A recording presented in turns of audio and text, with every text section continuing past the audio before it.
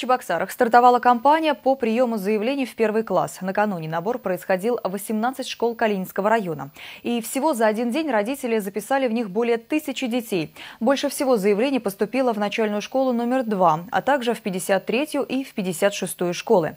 По данным Управления образования города, технических сбоев в работе системы зарегистрировано не было. Списки номеров заявлений будут размещены на сайтах и на информационных стендах образовательных учреждений.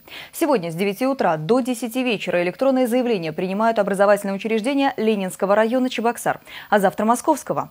Со 2 февраля регистрация станет возможна во все общеобразовательные учреждения города, но строго по прописке. Напомню, что к электронному заявлению никаких дополнительных документов прикреплять не нужно. Оригиналы необходимо будет принести в школу в течение 7 дней после регистрации. Если у родителей нет возможности записаться через интернет, им нужно прийти в школу, где в те же дни будут работать операторы, которые помогут записать записать ребенка в первый класс. Кроме того, с 8 утра до 5 вечера будут работать телефонные горячие линии, по которым родители могут задать интересующие их вопросы.